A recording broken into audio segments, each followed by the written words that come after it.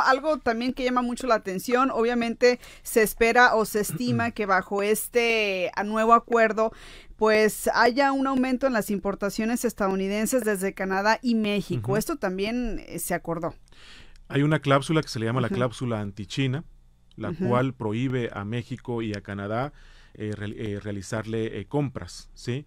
Y, esto es pues afecta ¿no? en ciertos sectores tanto a Canadá como a México. Quedó estipulada la cláusula anti-China, que quiere decir que México sí le puede vender a China, y, al igual que Canadá, pero no le pueden comprar. Está obligando a que le compren Estados Unidos. Entonces aquí hay un capítulo que es el capítulo 4 de reglas de origen, donde están los contenidos regionales y sobre todo en el sector automotriz, donde se dice que se tiene que comprar el 75% de los insumos, materias primas y bienes de capital entre los tres países. ¿Qué quiere decir esto?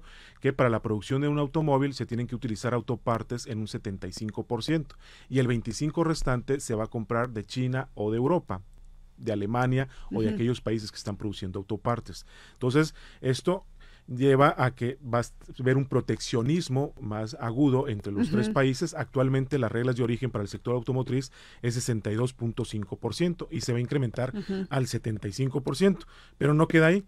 También se va a obligar a que se compre el aluminio y el acero en un 70% entre los tres países. Sabemos que el principal productor de acero es China, entonces se le va a dejar de comprar acero a China y se va a comprar el acero entre los tres países para la elaboración del automóvil. Entonces son medidas proteccionistas, pero también hay libre comercio y proteccionistas porque son los tres países los que se están protegiendo el resto de bloques económicos y, hay una eh, esta cláusula anti-China que está estableciendo que ni México ni Canadá le van a comprar a China, sino le van a comprar a Estados Unidos, pero sí le puedes vender. Te vamos a dejar para que le vendas, pero no para que le compres, dado que debe haber un proteccionismo en la zona de América del